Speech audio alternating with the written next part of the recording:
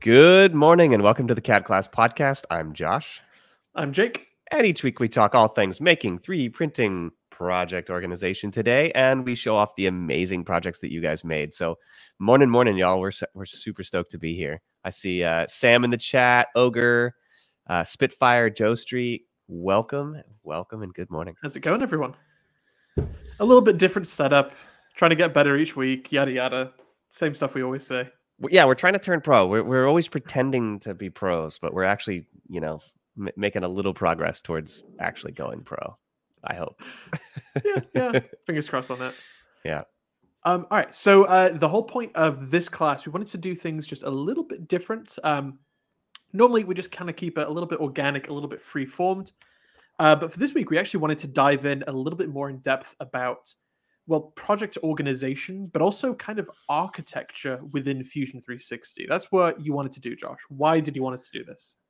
I felt that one of the things that we missed out on when we were writing our book was was really helping people understand organization at the project level, and then on top of that, organization at the at the uh, like higher level, like when you're collaborating with other folks. I thought that we just it's it's still somewhat confusing the difference between when to use a component, when not to use a component, when to use an assembly versus a mm. subassembly versus and and I was just hoping to clarify some of that stuff today. And I figured, hey, we're on these podcasts every week anyway. What if we just did a say like a 30 minute masterclass and we went through exactly how to think about how to organize your files and then eventually we incorporate that back into the back uh-oh sound is not good is it just me yes my that sound is fine it might just be you. Yeah. Sound is good. Sorry about that, man.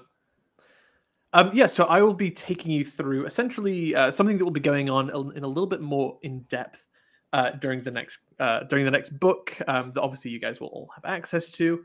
Um, but it's definitely something that we miss out. It's something that a lot of people get confused by.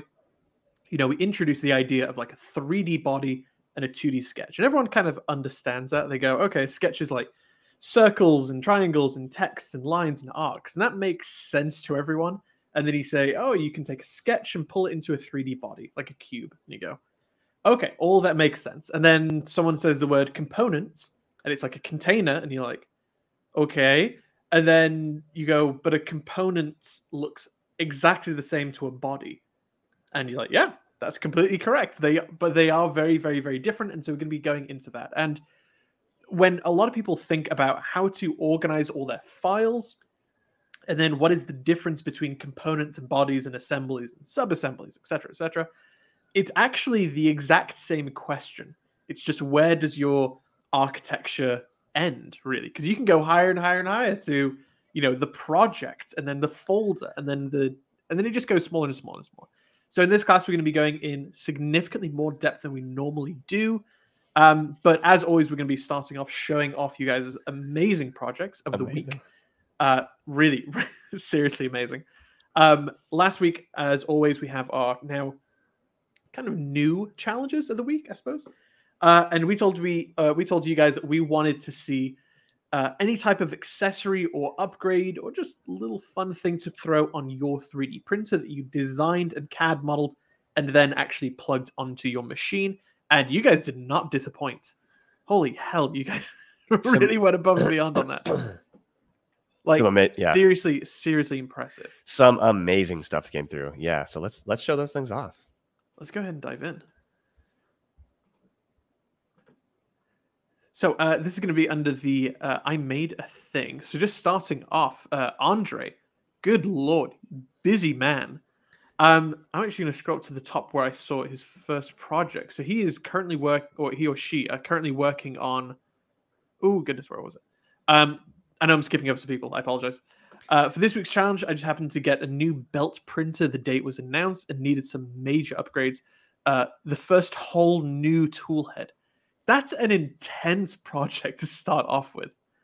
Like that's crazy. Going through all of this, like that's to design a fully new toolhead that has ducting and airflow channels and this and that. That is seriously, seriously impressive. So, I mean, right off the bat, wow, that's rad. I'm, I'm seeing Bowden tubes at the top, uh, ducted fans on either side. Um, yeah, absolutely fantastic. Uh, were you going to say something, Josh? I was just gonna say Andre is. I don't see him in here right now, but that's Maple Leaf Makers.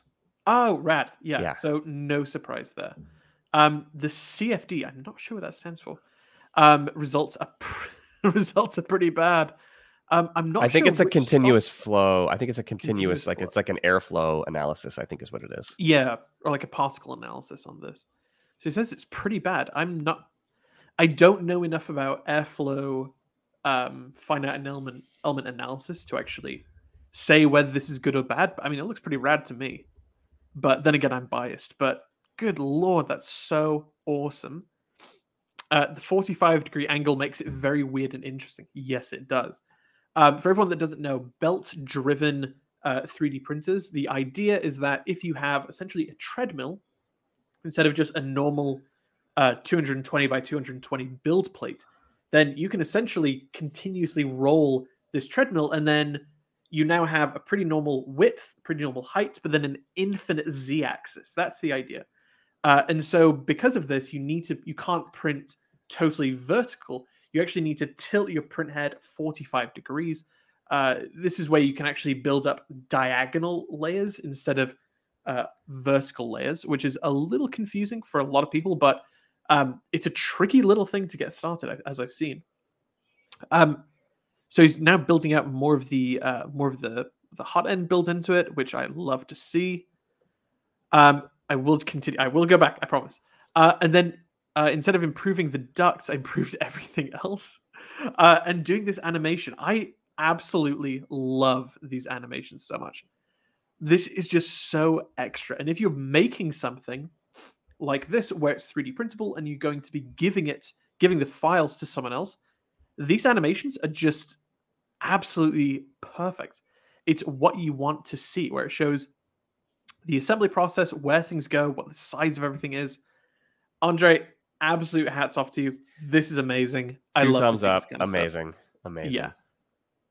Uh, and then uh, his three quarters of it still need to find the box fans for it. That's rad as well. I absolutely cannot wait to see the final product. It's going to be so fantastic. So cool. Oh, God, Um. Computational fluid dynamics CFD. beautiful. Yeah, yeah. Oh, it's right there. Shout out to Ogre. OpenFOAM. All right. Yeah, yeah. Damn, that is super rad. Um, and then everyone else, as always, made really fantastic projects we'd love to show off. Is animation included in the free version of Fusion? Yes, it 360. is. Oh, Uh, fun fact: it's no longer Fusion 360. It it is, is in fact Autodesk Fusion. Autodesk Fusion. Um, I believe so. We, uh, I'm 95% positive that it is included in the free I believe version. it is. I believe it is. And it's what we go over in the, oh gosh, in chapter 11 uh, of the course and the end of the book. Uh, it's the last thing we do. It's where you can essentially work with exploded diagrams. Uh, if you're trying, if you start off with the final product and then explode it in very, exploding makes it sound like it just goes boom and then everything's apart. But exploded diagrams are like, okay, you take off this thing, then this comes apart, then this comes out. Uh, where it's a little bit more methodical and engineering uh, but yeah, we go over all of that. So exploded diagram takes things apart. Uh, what you saw Maple Leaf Makers did was be an, an assembly, so putting things together, and it's the exact same process. You just reverse the video. So pretty pretty simple. Uh, Derriere, my wife needed some alphabet stamps for clay, uh, so he's building a whole punch system essentially, Amazing. which is just so rad. This is the kind of stuff I just cool. love I love like it. this would be almost impossible to find in real life or ridiculously expensive because it's so niche but just being like i can't imagine this took more than what a couple hours to make and it's just fantastic hey there we go oh, oh they did dual colors as well i mean it's just so awesome i love So this kind awesome. of stuff Yep. Oh god, that's so cool. Yeah, I love to see this kind of thing. Um, I also really love to see rendering. Um, one thing that everyone should know, obviously, rendering pictures takes a really long amount of time. Uh, as you can see, the right half of this photo is just kind of blank. Uh, you can shorten your rendering time by oh gosh, probably probably quarter of the amount of time that it takes to make this just by messing around with the aspect ratio. So he's obviously just trying to show off uh, just this punch section. So you can mess around with the aspect ratio, pull in the width, And then instead of rendering uh, all of this blank space and all this project that he actually doesn't want to show in this picture, you're only rendering what you need. So it makes your file size way smaller and it reduces the rendering time from like 25 minutes to 10 minutes. So marked improvement. Um, yeah, I love to see this kind of stuff. So rad. So rad. Joe Street So- says, I'm loving all the creations this week. Yeah. It's our frankly, I mean, again, I think we've been shouting you all out each week. Joe Street, PC Van Vliet, Sam, I think I saw you in here too. And all the other moderators are saving our lives. It's allowing us to continue to make content and also interact with the community and keep the Discord Mhm. fresh. So you guys, you guys totally rock. I, I Yes. don't feel like I Massive can say thank you you enough. Yeah, I, I'll, I'm with you on that one. Yeah. Uh, and then continuing on again with Derriere, uh, making something for his Bambu, a, mix, uh, a mixture of Fusion, HueForge, and Bambu Studios. Derriere prints. That's so rad. So it looks like he's printing. Oh, I thought this was an actual like like a resin picture, but this is this is a printed thing. That is a HueForge 3D print, which I can't wait to use HueForge Ah, for okay. our eventual mechanical business cards. I am really excited. awesome. Yeah, yeah. Okay, that yeah, that's kick ass. HueForge, That is- apparently, I mean, I think we've talked about it a couple times on here, but people seem really to love HueForge, and I, I just can't wait to dive in and try it. hmm Especially when we Uh, have those Prusa XLs coming to Sac City College here in I Sacramento. know that's that's gonna be very fun. Um, 12 for everyone that doesn't know, the uh, the idea of HueForge is that you're basically you're able to use all these different colors with a multi-spool 3D printer, and you're able to essentially print out a picture, not just by doing it with layers, but also shading as well. Very, very technical, very, very difficult thing to do computationally. Probably impossible to do uh, just with design with CAD.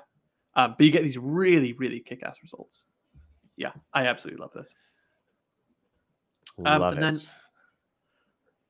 Uh, and then I think to finish us off, uh, and then Ogre made uh, a mounted spool thing. So it is, uh, it's actually put in the middle of his printer. So it's really unfortunate, but it happens to a lot of people where if you don't store your filament correctly, that would be in, let's say, a Ziploc gallon bag with some desiccant in it, that silica packet, uh, your filament is going to be absorbing moisture from the air. And if you live in a humid climate, or it rains a lot, or you live next to the ocean, then it's going to be absorbing all that airborne moisture into your plastic.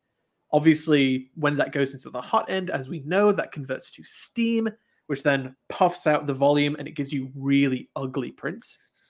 The other flip side of that, which is an even worse thing, is it makes all of your filament incredibly brittle. Like you can literally snap it with your fingers with very little resistance.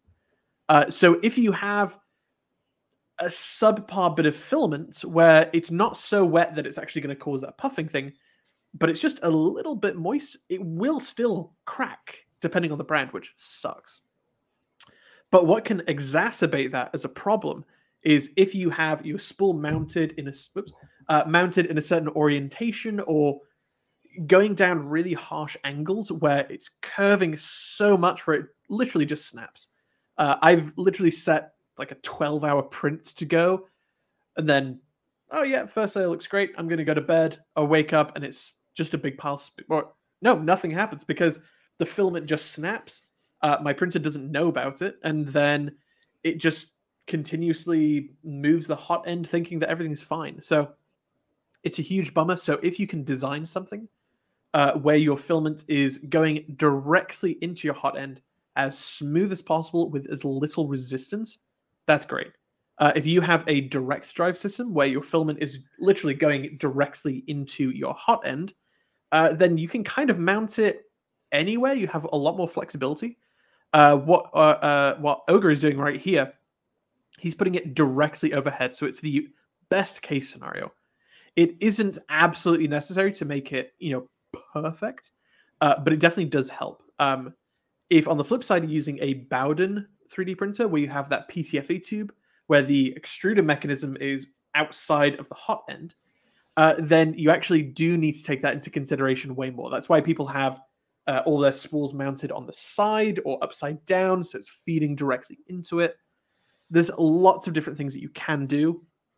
Um, that's why one of people's first 3D prints that they do uh, is printing a filament guide where it's a little arm. It's what we make in uh, chapter one of the book, uh, where it's a little arm where it just pushes the inlet of where your filament is going just a little bit further out. So you're getting this larger radius uh, of your filament going into the extruder. So it makes for a much, much, much better or a, a much higher likeliness of a successful print. So this is fantastic. I love this kind of stuff. Amazing. Yeah, I absolutely love it. Um, and then we have Garft. Did we see the the creation from Garft here? Uh, where was that? It is February third. I don't know if I saw this. Uh, There's a wrench. They made the wrench for the little odd sized. oh, I. Th- oh my gosh, I think I totally did see this. Ah, where was it? I'm not a professional. It's on the I made a thing. Just scroll back to 2 3 2024. February 3rd. It's got like the little break there. Oh, yes, I did see this. Yeah, this made me very, very happy. Custom tools, I I really adore. Yeah, really funky, weird bolts that exist. I I I don't actually know why. Like, if if you have a security specialized bolt head, that's fine. That's obviously fine. But then if you sell that driver or that nut publicly, it kind of defeats the point, right? Like, do, do we all understand that? Like- Like, there's there's some companies that have proprietary, um, you know, only screws in but can't be screwed out bolt heads, and then they will also sell you the driver that can remove it. Cool, that's great. That's so niche. People aren't going to be able to find that. But then they also sell the driver on Amazon for like five bucks, and you're like, then it's not. Then it's not security. Then it's not a security. like anyway anyway absolutely love this uh i love making uh all different kinds of wrenches weirdly enough one of the projects that i've wanted to make um for so so so long but um but i haven't done is uh the nasa wrench i've been Ah, meaning to yeah, print yeah, this yeah. so so so long uh so for all guys that don't know um the iss has a 3d printer uh, where you can obviously send files to it and then it prints it out. And it's like, well, why would you bring up a bunch of tools that you may not use when you can just 3D print the tool for the job? Uh, and so they made a little, or they sent a file to this very special 3D printer that can work in zero G. Um, and it's and it just made this this wrench or a torque wrench that limited out at like three newton centimeters or something. I don't even know um and and it totally worked and because it's nasa and it's a public company they just gave this this file to uh, to the world. So it's technically the first functional print. It isn't the first print in space. I think that was like a name tag or something kind of lame. Um but the first functional print was a wrench and i've been meaning to print it for so so so long. I did print it Do on a on a uh on my very first 3d printer this monoprice select v2 mini which was like this big. Uh, and surprise, surprise, it didn't work. So, uh, so I need to reprint on the Prusa and actually get a Uh, successful print. We've got some other other cool stuff in there too, Jake. I, we've got the hex, the label, the 3D printed bolt holder there from Mr. Mis- Mr. Mitnick, PC Van Vliet, just above the last one. We've got even more stuff, and we have another one I want to show off. Yeah, so if you that's that bolt holder right there, just above the tool cut. Yeah, I yeah, yeah. I love. I I I think everyone knows that I've I have a bit of an obsession with this kind of stuff with like yeah. hardware and organizing hardware especially. Um, so I absolutely adore this kind of stuff. Like organizing things to very niche specificity is like my idea of a good time. Uh, and then actually and, then, and then actually printing like an entire mini toolbox for it that's hysterical that's. That's so hysterical. It's a nice touch. It's a really nice touch. It's, funny. I, the, there was 3D prints that got popular for a while that were basically just mini replicas of things that we. I, I here's I, here's how I frame it. I think there are certain iconic designs in society, and some of them are so ubiquitous that we stop even noticing that they're an iconic design. One of them would be like the green trash can, and so there's this whole community or the traffic cone is a Mhm. little bit iconic, right? And so uh, you get these 3D printing communities and these 3D prints, these people that make basically replicas of those things, and it just cracks me up when people do it. Uh, we have a couple more things. We have um so Johnny Yurtafan wanted us to show off what he made there, and but his is in the challenges oh. section. so if you pop over, because there's a couple cool things in the challenges, like Serdar as well, making the big tea mug, Mr. Mitnick. Shout out to this you. I'm pretty... uh you know, I've got a yeah. have got my giant mug right now that you mentioned that but uh it's not nearly as cool, I don't think, as as what Serdar made they there. So no, that's pretty nice. And then just above, this is so it's making, the truth. Yep. Making a an actual holder or an, or an external holder for your uh, for your screens. That's so rad. So so this is the idea with uh, all this kind of mechanisms is that if you put a 3D printer in a heated enclosure, um, or, or an insulated enclosure, even more specific, um, it holds onto that heat and you get much better chan or much better layered layer adhesion success. So some materials like ABS, you need it to be in a heated enclosure because while it's printing, if it cools down too fast into room temperature, you get layer, oh gosh, uh, delamination. That's the word. Uh, the same thing happens if you leave like a sheet of plywood in the rain and then it just kind of absorbs it and then dries out and all the layers are starting to split and come apart. Uh, same thing happens with 3D prints. So uh, uh, you can see he's actually printing in PLA plus, so it's even more of a benefit. You just get stronger and stronger prints. Um, but the inside of that, it becomes hot. It essentially comes just a little bit higher uh, than your bed temperature because you're then adding the heat uh, of the nozzle. And so if you set your bed to 60, it can get up to 65 degrees Celsius, which is, oh gosh, what is that? 100 and somebody in the chat I'm sure will know, 120 or something? That's like Egypt on a sunny day. Uh, it's it's like opening up the oven and going, oh god. Um, so uh, even if you're just printing PLA, uh, you will still get an even higher strength because even the layers below that have already been printed, those are now fusing together and staying in a glass state where it's not liquid, it's not solid, it's just kind of floppy, uh, and it it just gives you killer prints as far as strength. So absolutely fantastic. Oh, the whole purpose I started on this. You can't keep electronics in there. So the motherboard, the PSU, the screen, you got to yank those outside uh, because they can't sustain at that high temperatures. God, full circle on that one. Uh, yeah. so uh, pulling it out, great idea. Awesome. Fantastic. Um, and then what am I looking for? Oh, that was it. That was the one. That was Johnny. You're a fan. Uh, oh, he's it's yeah. he's it's the when people have Discord. different names on YouTube and different names on the Discord. I know, and then obviously their own names. Oh, that's so hard. Um, but absolutely, absolutely fantastic, dude. Yeah, this is a killer design. Amazing, love it.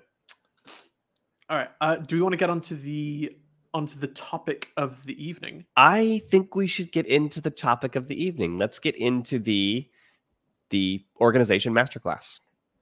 So the whole purpose uh, of this class is basically we're going to be using this as a organic test trial uh, for what we're going to be putting into the book. Uh, as you know, Fusion 360 or any programs are gigantic, and there's lots of things that I know about these programs, and then you just dig a little bit deeper and you find more and more stuff, and you go, "Oh yeah, actually, there's also this thing."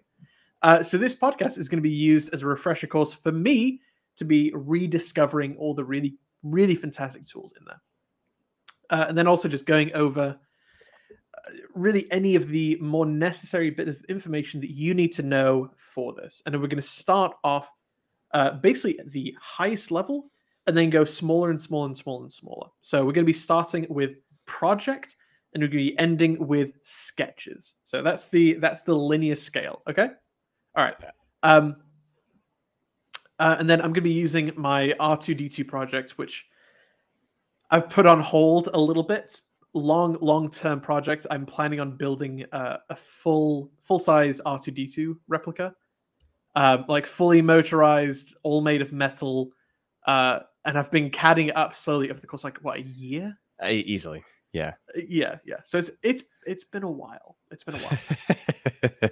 um, total side note: uh, if anyone uh, in the chat is from California or is vacationing and going to uh, LA, I cannot recommend enough that you guys go to the Academy Museum. It is fantastic. It is full of every single famous movie prop and uh, things that you can possibly imagine from stuff that you're like, oh my god, I'm so happy that they kept this from some of the most famous movies of all time. And I won't spoil it. I uh, if you do go there, do not look any of the reviews or pictures because you don't want it to spoil you. I want you to go through and they go, oh my god. Uh, but what I will spoil is they do have uh, one of the original R2D2s, and it is uh, he's he's he's he's beautiful. He's lovely. I took all of these reference pictures. I literally brought a pair of calipers to, to the museum so I could hold it up and then take a picture for scale. Yeah. and I, I was with I was with my fiance and uh, and she, and she was like, "Are you crying again?" Like, yeah, yeah, it's beautiful. and then apparently the uh, there was like a security guard just off to the side who was also like a museum person, and she was just chatting with him, and she's like, "How many people come over here and start crying?" And he's like, "Several people every day." She's like, "I get dads who come here and they just burst into tears." it's kind of beautiful though. But anyway, yeah, to make you feel if, better. Yeah, if you ever go uh, to Los Angeles, go there uh, and then across the street is the Automotive Car Museum, which is gigantic. I think they have like a billion dollar, billion dollars worth of cars. It's amazing. Anyway, come back to CAD. Uh, let's go into Fusion 360, if you don't mind. Yep, and then we're going to go ahead and full screen this, unless you want to show yourself. Uh, nah, no, no, no, no. Let's show us. Show us. Yeah. Okay. So, um, first off, uh, I'm going to be showing you guys uh, essentially all of the organization that I have for all of my files, uh, and then what you guys should do for our Fusion course, essentially. Um, we're going to be starting out in the data panel. If you don't see this, uh, you want to click on these uh, three by three grid squares, uh, and this will show you all of your projects. When you first opened up Fusion for the first time, it probably said, or you probably didn't see any of these uh, you just saw my recent data at the top. Well, admin files, which is your projects, uh, demo projects, and then if you scroll way to the bottom, then it had libraries and assets, and then some of these basic trainings. Uh, we've never actually gone over these, so we may as well. Uh, all of these samples, um, just showing off different CAD projects within the different uh, workspaces. These are these are fine. So these have these are essentially pre-made models uh, so, for example, in the uh, modeling, they've got oh, what do they have here? Oh, a, a Geneva drive. Cool. So this is just to show off uh, all the fun things that you can make in CAD, and then uh, Fusion 360 or Autodesk has uh, articles that essentially go along with all of these. So this is a very very popular 3D model. Um, I wonder if it works. No, it doesn't. Okay, I'm, not, I'm going to move that. Um, so these are all pre-made models that you can use to basically work with articles on Fusion. We've done it in the past. They're fine. The articles are fine. They're a little bit they're a little bit sterile, if that makes sense. Um, where it's like, do this, do that, do that, do that. And there's not a ton of explanation about design intent, which is probably why you're using a CAD program to make stuff. And it's just saying, here's all the tools, here's what they do. Next. It's not really the way that we like to work, so you can skip that. Uh, the libraries, the assets, this is all the behind the scenes information that you really don't need to touch. Uh, the notable exceptions uh, if you have a CNC machine uh, and you make a CAD model, then you make all the tool paths like we do in chapter eight of the book. Yeah. Um, then you need to basically have a bit of information called a post right here, CAM post. This is the in between between your tool paths that you make and then putting it through an information that your uh, CNC machine understands. Uh, if you are a 3D printer person, then the idea is if you open up Cura or PrusaSlicer, you need to select which 3D printer you have. It doesn't matter what your model is, because if you design it for a Prusa machine and then you send it to an Ender 3, it won't understand that. There's no, well, they're two different machines. So you need to have and in between. So this is where you put in information about your about your CNC machine. That's basically the only thing in here that you ever really need to touch. So if you don't have a CNC machine, you never have to look into this. Uh, you can change any of the names of these just by right clicking on them and saying rename. uh, that can be really, really handy. So where it says, uh, it, admin files, just change it to your name, change it to anything that you want. Um, but all of these sections, these are called projects. You can see right here, if you want to make a new one, you can call it new project. There is absolutely no rhyme or reason why you should make any folder or any project for any topic that you want. Uh, when I was working at my workshop, I wanted to segregate all of my projects that I was making based on the area of a workshop. So I have stuff for my 3D printer. I've got metalworking projects. I have woodworking projects. And that's just kind of the areas that I like to split it up. So I know that I don't have this gigantic, never ending list of all of my projects. It's just the ones for those areas. So that's what I like to do. Uh, if you have a really, really big project, uh, for example, my R2D2 build, that's huge. That's going to have thousands and thousands and thousands of components. So to hide it inside metalworking, you can do that, but it's a little bit easier just to make it available on your home screen. Uh, same thing for any of my other things. Um, so uh, CADclass, this is where I have all of our projects as well, and we'll be going into that in a little bit. Uh, but you can organize this however you'd like, really. Um, one thing that I will say is you can treat this and all of the organization in Fusion 360 as folders, just like you have in your computer. So you can imagine that all of these are like the the macro folders, where it's like documents, downloads, desktop, pictures, videos, music, etc., etc. Those are the main things, and then you store folders inside it. That's the idea. So if I'm wanting to go into my R2D2 project, you kind of have to think quite a lot about how you organize your folders. So if I'm working on a really, really big project like R2D2, uh, where he has, oh gosh, something like th- over 4,000 components, like individual bolts and then panels and stuff like that, um, you wouldn't just put every single one of those components in just one project because that's a huge list that you have to scroll through. Even if you have a good naming convention, that's a nightmare. That is such a pain to do.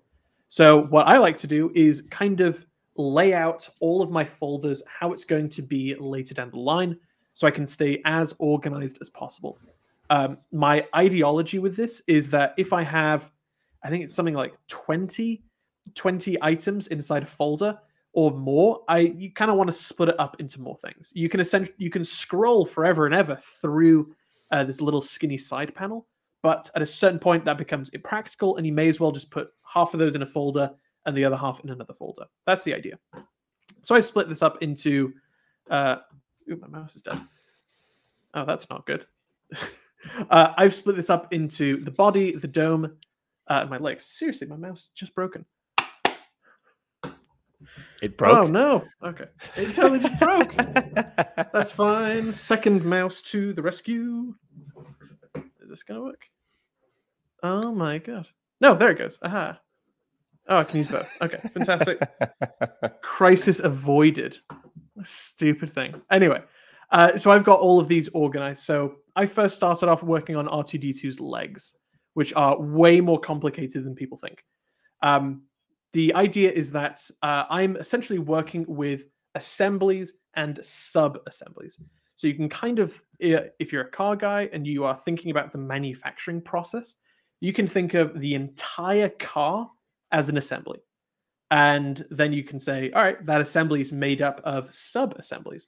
So, for example, the engine, uh, the driver's chair, the chassis, the wheels, where they're smaller sections that have many parts within it. And you can make as many sub assemblies as you want. You can go in as deep as you'd like. It's purely personal preference. Uh, so for me, there is a, a, large community of people who make uh, these R2D2s. So there's already pre-made sections of all of the legs. So for example, uh, the uh, oh, what's a good one? Uh, the booster covers. No, that's just a simple one. Uh, I'm going to show off the shoulder hub. Yeah, that's fairly interesting. Okay. So the shoulder hub of R2D2, I'm actually going to bring up. Uh, so this is all of the parts. These are all of my folders.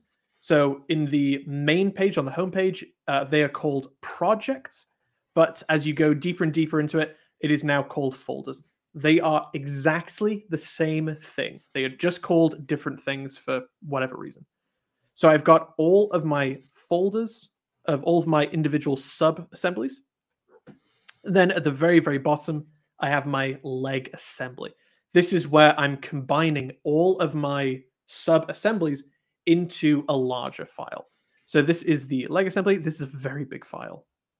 Uh, so it may take, so it may be uh, a little slow to load because we're also streaming. Um, but this is all combined, and then I would combine the two legs, the body, and the dome into an even larger uh, main file. So this is all the parts that go into R2D2's legs. I actually completed this, thankfully. Uh, and you can see these are all of the individual sub-assemblies. So I have the shoulder hydraulics, the shoulder buttons, the uh, ankle cylinders, etc., etc. So all of these sub-assemblies match all of these folder names right here. Uh, I like to number them because they're usually organized by name, but you can change that to whatever you'd like.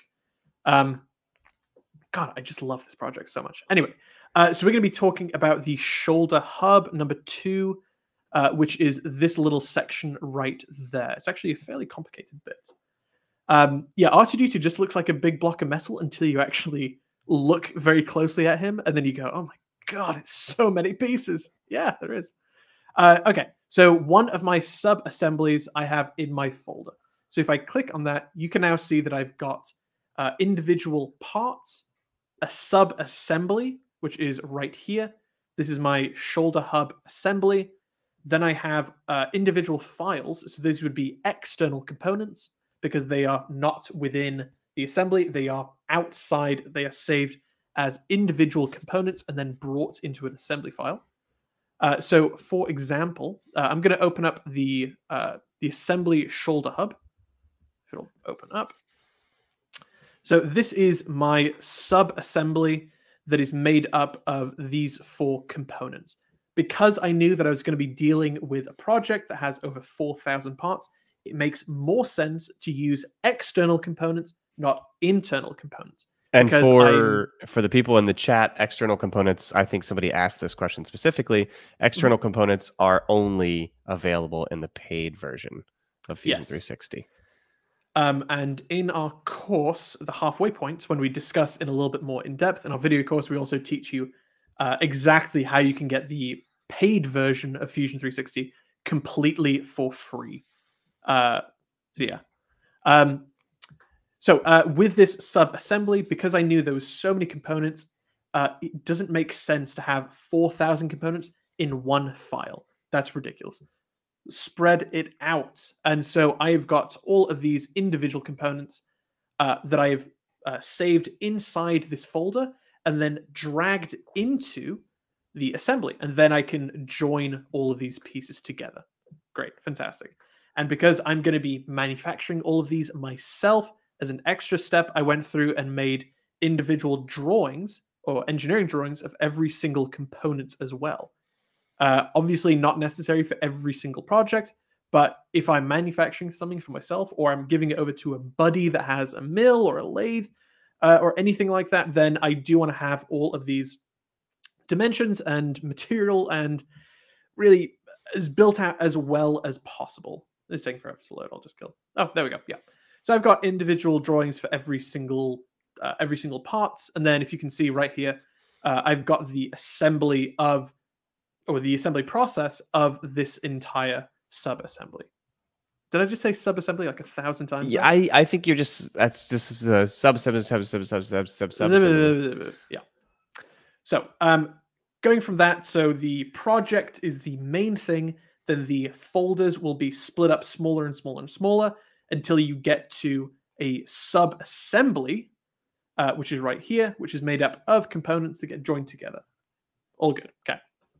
So in this, we know that this is an assembly file of this because the little icon right there at the top corner is three white cubes that are stacked together, like building blocks. Inside of the components, that's the top assembly file, is all of my individual components. You can see that because it's only one white cube. So you've got assembly up top, which is made up of four components. Yep. uh, I can expand all of these, and you can see that I've got bodies and sketches that make up this component. You'll notice that right next to my white cube is a, a little chain link. This is indicating that uh, all of these components are external components. I am linking them, hence the chain link, from this folder into this assembly file. So this assembly file is actually quite small because all of the data associated with all of the individual parts are stored externally. It's the same idea that if you've ever used any video editing software, it isn't, or the actual video editing file is not very big. It's maybe only like, what, a couple hundred megabytes? And that's because you're not storing all of those 4K videos inside it. They're linking externally and saying, okay, that's where I know that file is. That's where I know that sound, that B roll. And then you are referencing it. Same thing for this. This assembly file, very snappy, very quick, because all of it is external. Um, if this was my entire project and I only had four parts, then it's such a small thing in its entirety that I may as well just use internal components because then I don't need to make a folder and deal with all of that organizing and stuff like that. It's just held in one thing. So that's great. So the components, uh, if I hide all the rest, isolate, there we go. So this is the hub ring, okay? The component is the folder. It is the container of every single bit of information that goes into making this 3D object. It is not just the 3D object, it is also any of the sketches and images and construction planes that go into making it. That is the big differentiator between component and body. You can see that my body right here looks almost identical. If I click on the body one and then I click on the component, the exact same thing is highlighted. What you don't see is that this component also includes the sketch. You can see this is just a revolved part. So if I get rid of the body, I still only have the sketch. So it's made up of multiple parts. So the component you can kind of think of as the container or a folder that all of your files or bodies, sketches, etc. are held inside. There's two types of components, external and internal. I'm working on a large project, so I'm using external components. If I was just working on a quick little project, I'd probably use internal components, but it's person to person essentially. So what you don't see in here is that under the component, you can also have uh, lots of other things. So we just have bodies and sketches right now, but you can also have any of the construction planes that go into making that project. So, for example, the surfboard that we make in the chapter one of our book, it includes, I think, four offset planes and that would be held inside the components. They're not a part of the 3D body. They're not a part of a sketch. They are a separate entity. Uh, when we go into doing the electric guitar project, where we actually pull in an image uh, or a canvas, as Fusion calls it, of that guitar, and then you trace around it, that is not a sketch, or it's not a construction plane, or it's not a body. It is a separate entity that is held inside the component. There's a couple extras, but those are the main ones that you really need to worry about. Uh, the other thing that confuses a lot of people is that every single component also has its own origin, which can be a little confusing. Um, all of these share the exact same origin. That's why, as I uh, turn on more and more of these origins, it's just getting darker and darker. Um, but there is the local origin to every single component, and then there is the global origin to the assembly. Um, but really, you can just turn that off for most of your projects. Uh, did I miss anything, Josh? I don't think so. You don't think so? Okay. Um, I actually did, and I'll show you what that is. Um, as you work on a design and you make changes and updates, and oh, I bought this new part, it's actually this dimension, you need to make changes and resave it, you'll end up with versions. So if I or if I hover over any of these components, you can see the name, two shoulder hub crown, JOS, uh, and then version three. That means that I have worked on this three times and I've arrived at the final process. So if I go into, where is it, the shoulder crown, you can see that it also says version three. I can click this and I can see a design history.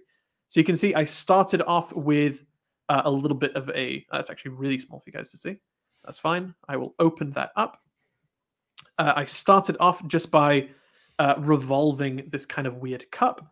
Uh, and then I made all the cutouts in version two as I was kind of starting to figure out uh, exactly how it was made.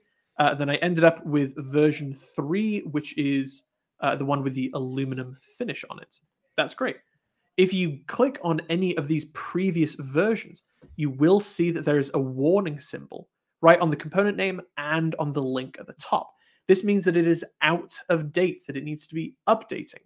Um, I'm not ever going to be using these, so I don't need to mess with that uh, because all I care about is that the most recent version, uh, this one right here, doesn't have any issues whatsoever. So this is the most up-to-date version. That's what I'm using. Uh, you can see that there's dates and times and uh, different folders for all of these. Uh, one thing that you can do is also set what's called a milestone. Um, if I can open this up and it'll show me. Yeah, see all these different 13 versions. Oh, you, you be able to right click it. Um, I'm sure it's in there some somewhere. Hmm. Strange. Um, you can also make. Uh, I'll try and find it later. Uh, you can also make what's called milestone. So if you have something like a hundred versions of this, obviously it's a little hard to find just that one important previous version. So you can uh, right click this. I'm sure you can guys can find it. Uh, where it's saying it may not be the most recent version, but it's somewhere in between where you're like, hey, this is a really important revision. This is a milestone in the design. Uh, you can signify that. And then if you have a spreadsheet, if you're working on a product development, you go, oh God, what did we change from, you know, version 1.5 to version 2.3 or whatever? What were the major changes? That's when you can have a spreadsheet and actually log all those changes. So that's the big thing. Uh, you can also click on uses, which shows you exactly what goes into the subassembly used in, which shows where is this file actually being brought into. You can see this is used in the leg assembly. And then it also has any drawings that use that as well. Um, the other nice thing is that you can actually view all these details on the web. So uh, what a lot, a lot, of people actually don't know, strangely enough, um, you all have a cloud account on Fusion. So every single file that you have is not only on your program saved into your data panel, it's also saved on your online account. So you can use Fusion 360 online to actually work essentially as a CAD viewer. So you can pull this part onto uh, your desktop and then actually measure it, check out the different uh, the different sizes, pull it into different things. So it's a really small file size that you can then send to people, and then it offers them to download it. So instead of setting sending them the entire CAD file, which can be quite large, you can just send them a link, and then they can just download it. So it makes life a lot easier with this. Um, what else is going on in there? Uh, you can uh, organize all your lists as much as you like by clicking this gear. You can also offline any projects. So uh, Fusion is an online program, so you need to be able to be linked to the internet, hence having a cloud account. Uh, but if you ever t- uh, go off of Wi-Fi, you'll notice that it's going, "Oh, you can't do anything." That's not true. You can. Uh, if you go into uh, this little clock icon in the top corner, the job status, you can actually uh, move this slider open and it says working offline. So any of the versions and any of the changes that you have are now being saved to your local drive. So then when you go back onto online, it's then pulling all that information from your drive and putting it up to the cloud and then updating your entire model. Uh, we got a question in here from Joestri, which says, "Do you have to recreate a part if you realize that an older part is more accurate or an older version is more accurate?" Nope. Uh, if you go into any of the versions, uh, and I uh, let, us say, oh, my version two actually was the one that I wanted, uh, you can open that up and then click on this little uh, or any, any of these warning icons. I won't do it uh, but as soon as you click it, that now makes it the most up to date version. That moves it to the top of the list. So you can view, so you can have any version that you want be the most recent used version, essentially. Hmm. Um, I'm trying to think if there's anything else. What time? Oh, we're almost done. Ah. Um, okay. Uh, one thing that I do want to say that uh, for you guys that are actually doing our course, um, we want you guys to start off as organized as possible. So if there's anyone on this podcast who actually hasn't started or maybe just started uh, their program, I would definitely make uh, a new project called CADclass or Mastering Fusion 360, whatever you want to do. Uh, and this is where you can hold your entire project. So we recommend organizing it where every single week is a new folder. Uh, it just makes life a little bit easier. And then you can see as soon as I click on this, then it shows me all of my projects that go into it. So then you can click onto any of the projects, like we were talking about the surfboard earlier, uh, open that up, and now you have access to it. And it's all held uh, and organized into the week or the chapter. Uh, one thing I did mention earlier about the construction planes being inside the component. So here you go. We have all of our construction planes right here. Oh, some of them are different sizes. That's strange. Anyway, um, the construction sketches that make up our project and the body. All of these are inside the component. So don't think of a component just as the 3D model because it's full of a lot more stuff than that. All right, I think uh, I think that's all. That was pretty solid. Any questions in the chat? Anything Actually, that's a little bit unclear that when you're thinking about building or starting your new project that you that wasn't answered just now that's maybe still a little bit confusing. We'd love to answer those questions live if you Mhm. have any. Oh god, I love this project so much. I can't wait to make this. Oh, it's going to be a glorious, glorious time. of what I've heard from people who have made these, uh, who actually worked on the original uh, R2D2s, who have not stole designs from the Lucas archives, but certainly copied them down. Um, that uh, to make your own R2D2 can take anywhere between five and 20 years to make. It's that big of a project. wow. Yeah. So just the CAD has taken me a year, essentially, just to make a leg, um, with project and reference images and how do you build it, etc., etc. Wow. Um, yeah, and it can cost thousands and thousands of dollars. But so Spitfire but has a great idea. Sorry, go ahead.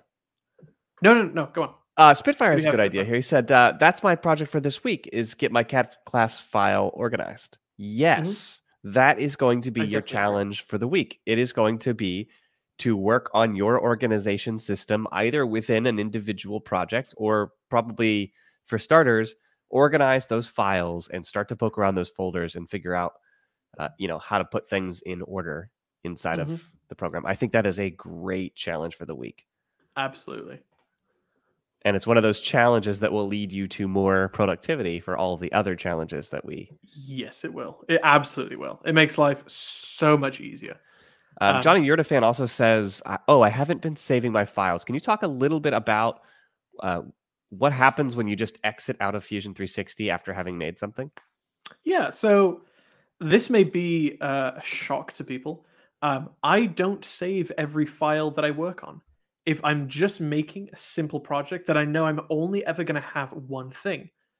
For example, uh, if I was making this little trophy that we talked about in our most recent YouTube short, um, this base, like I'm only going to be making one of these trophies. I really don't need to save and organize exactly where everything is because it's just a simple thing. Um, I may make a design and then uh, send it off to my 3D printer and then be done with it. And that's fine. That's okay. What you don't want to do is work on a project that you think is not that important. And then you realize, oh, wow, I've had a few people asking for me to make it or make one for them. Oh, God, maybe I should have saved it. So if you absolutely know that you're never going to be using that file, think really long and hard about it because you may end up saving it. So if you're just building, you know, something dead simple like a cylinder, uh, for example, um, I would really recommend save all of your projects. These Fusion 360 files are so small, um, and it's free storage. You don't have to pay for it, so you may as well just work with it. Um, if you ever, if you are going to save it, uh, you want to say exactly what is the location so you can see my um, my project, that's the most, that's the largest of the architecture, is CADclass, then the 12 week program, then the single parts week, then you can name it and click save. That's the idea. So save as many things as you can, stay organized, especially with your name. One thing that I often forget to do is name things in a way where it's easily searchable. So you can go through and search any project that you want, um, and it will actually show you. So if I go uh, surfboard uh, and click search, uh, it's going to show me my project, and I can right click it and actually go. I can add this to my offline. I can delete it. Uh, I can move it between different files, which is sometimes not easy to do. Uh, I can share this link. I can do anything I really want with it. Um, but naming it easily, easily to find names is hyper hypercritical. Um, it is one of the one of the worst things that I did starting off, and I wish I did sooner. Essentially, so that's my that's my two cents with it. Awesome. And how often? So you open a project, you save it right away. No, no, okay. no, no, no. So what is there? Is there an autosave functionality? And this is I'm trying that to ask is, broad questions. What happens to files as you work? Save. Mm. Uh, if you click on your profile and go into preferences, uh, and go into ba, ba, ba, design, no. Oh, uh, preview, no. Bloody hell, where is it? I think it is general. Not general. No. There is some setting in here, I promise, where you're able to um, select uh, when things are saved. Oh, uh, data collection? No. Gosh, where is it? This is terrible. Um, there is some setting in here. I'm not exactly sure where it is, but you're able to set up how many days since something has happened that you actually do want it to be saved. Um, and uh, the larger that you set this value, the well, the slower your program can be because it's saving larger files, uh, essentially into a cache. Gosh, where I literally just used it. Yes, ah, there it is. Ah, automatic recovery backup interval. Uh, so I most people have it set to five minutes. So every five minutes, it's storing the most recent version uh, into a basically an autosave feature. Um, so, so then let's say crashes. So yeah, so exactly. So let's say the computer crashes. You're right in the middle of your project. What what do you do then?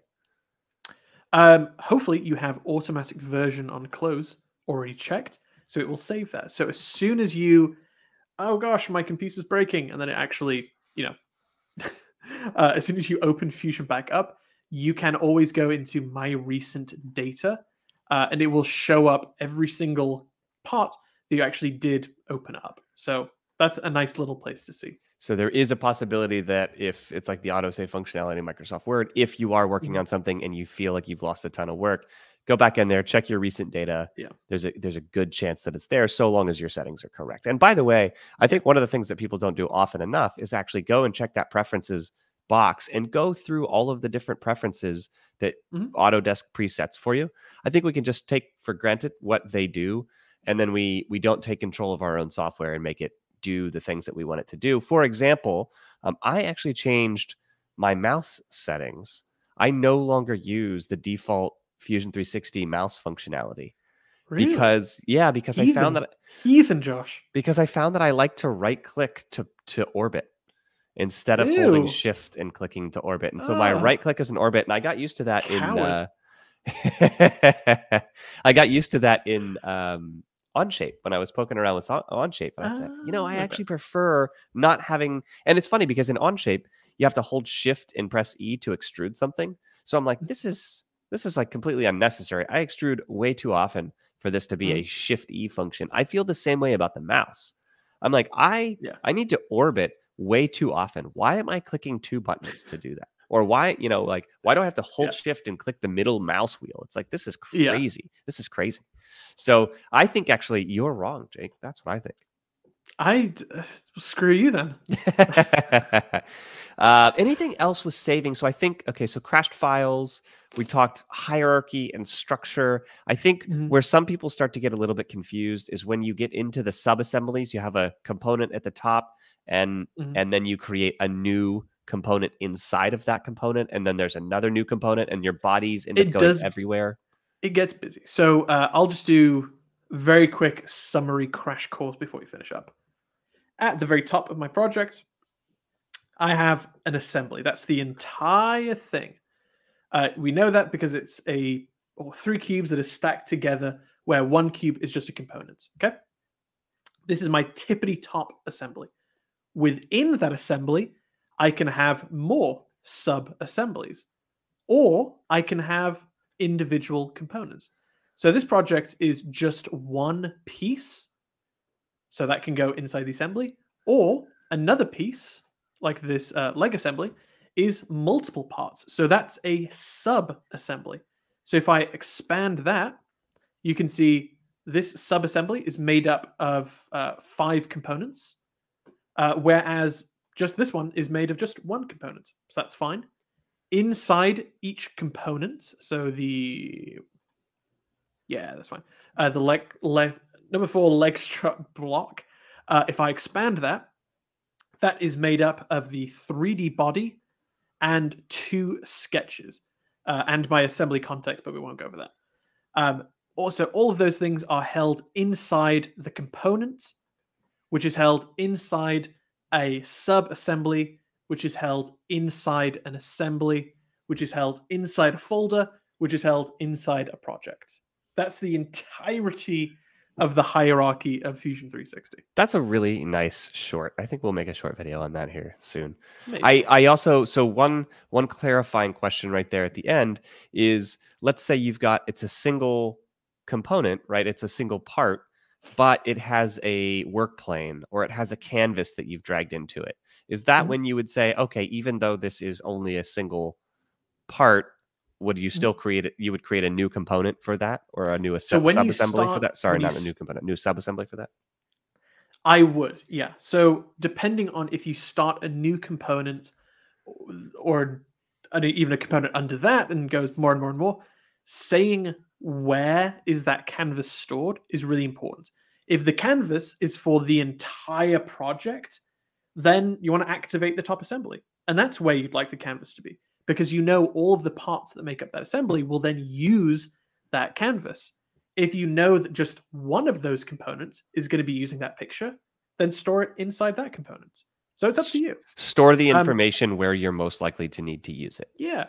If you have, um, think about it on just storing pictures, for example. If you have your pictures tab on your on your desktop, and you've got it, you know, 2024, 2023, yada yada, all the way down, you know, obviously you would put all the photos about that year in that folder.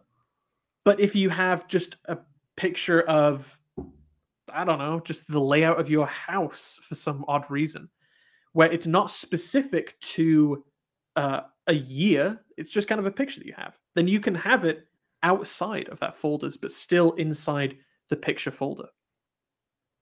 Beautiful. So I hope that makes sense. Lovely. This has been the CADclass Podcast. Once again, I'm Josh, I'm Jake. and we will see you all next week. See you guys.